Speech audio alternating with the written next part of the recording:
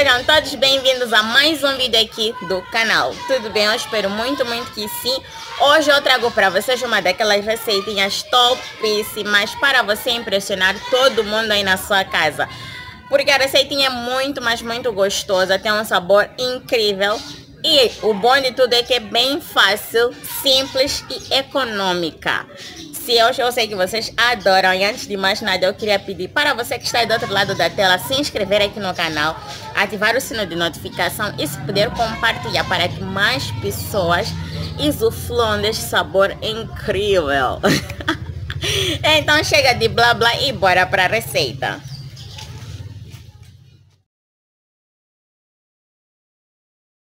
Eu já separei todos os ingredientes que eu vou usar aqui na minha bancada. Nesta travessa eu já tenho as asinhas de frango, que são bem grandinhas.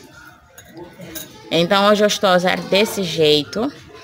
E já vou separar para começarmos a fazer o nosso tempero. Bom, eu já tenho o alho, tá aqui. E vou colocar o caldo quantidade é a gosto. Lembrando para vocês que vou deixar a quantidade dos ingredientes bem certinhos aqui na descrição do vídeo e nos comentários para vos facilitar. Então vou pilar bem o alho.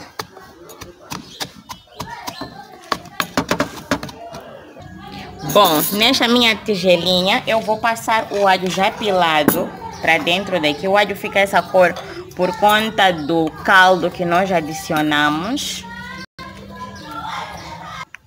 Vou acrescentar maionese.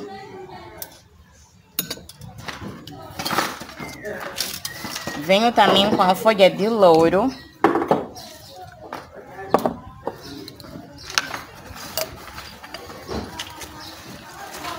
Vou. Acrescentei o colorau. De temperinho vai ser mesmo de preferência que vocês podem colocar o tempero que vocês preferirem, né? Mas eu estou a fazer desse jeito porque fica muito, mas muito bom. Junto também a páprica defumada. Vou acrescentar mais o caldinho.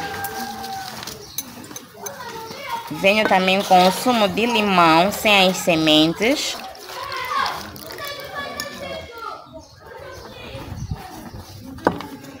E vou misturar bem.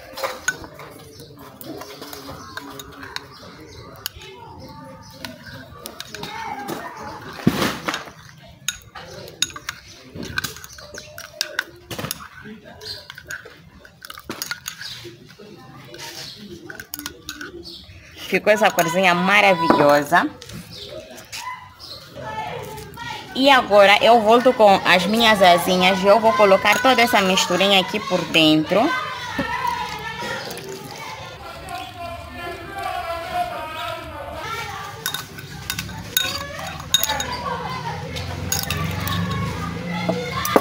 E com as minhas mãos já limpas eu vou espalhar por toda a parte para pegar bem o tempero.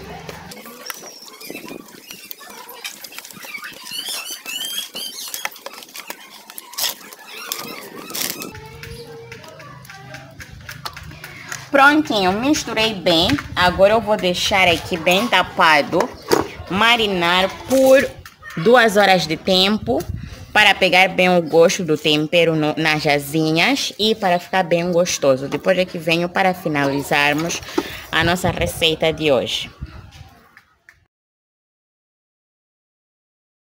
Se passou duas horas de tempo e uns 30 minutinhos, aqui marinando, aliançou o temperinho, aumentou bastante o líquido.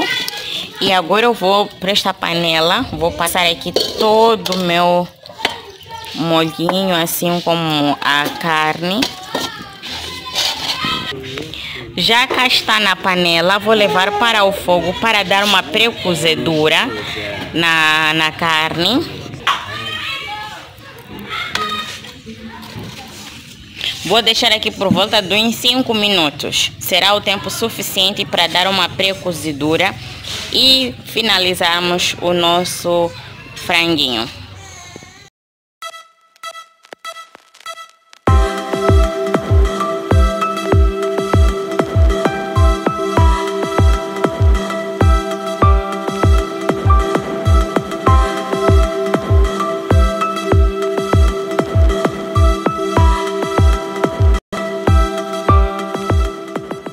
Bom, deixei, não foram 5 minutos, simplesmente foram 3 minutos. Um minuto e meio, deixei assim a levantar a fervura. Depois continuei a mexer o frango para cozer da outra parte. E deixei um minuto e meio, um minuto e meio das duas partes e ficou assim nesse, neste estado.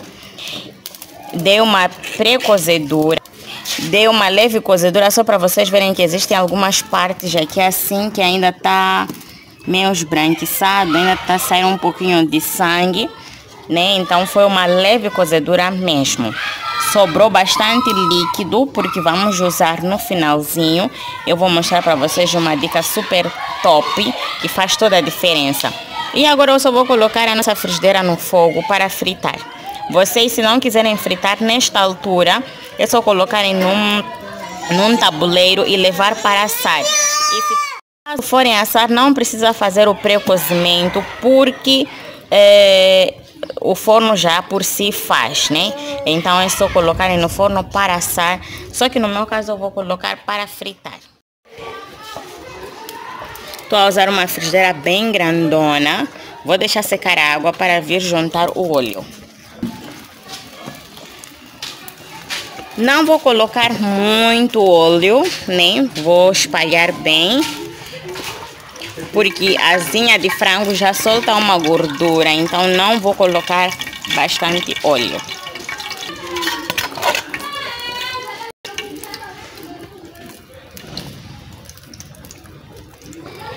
Retiro uma boa quantidade sem o líquido, deixo escorrer bem todo o líquido e venho coloco já na frigideira.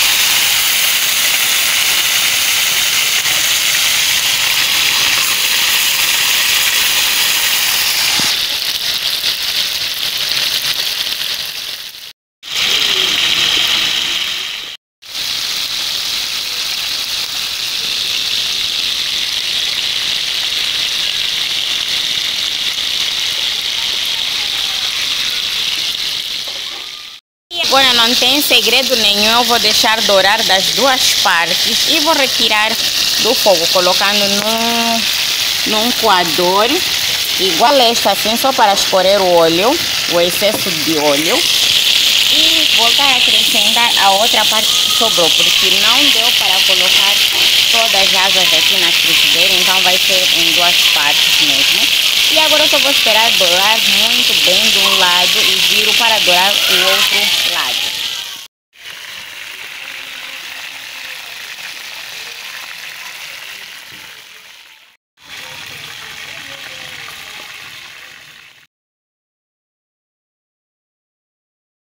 Olhem só como tá lindo, bem, dourado, bem douradinhos, bem crocantes. Terminei aqui de fritar e agora voltei com a panela para o fogo que tinha sobrado o temperinho. Vou acrescentar um pouquinho de óleo e vou deixar aqui por uns dois minutinhos só até reduzir um pouquinho o molho. Ajustem o sal neste molho se não tiver, é só para passar por cima do franguinho. Vamos deixar a parte, nem né? quem quiser na hora de servir pode passar, quem não quiser e preferir comer assim bem sequinho também fica super bom. Mas com este molho deixa um sabor ainda mais bom, super diferente.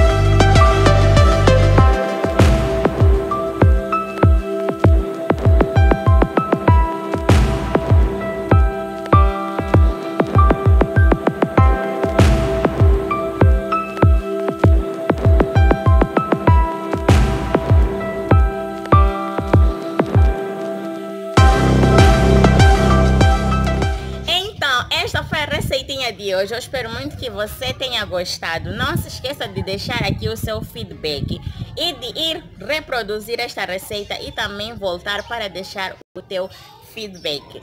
Muito obrigada por me acompanhar até aqui. Beijo gostoso no coração de todos vocês. Até a próxima, se Deus quiser. Tchau!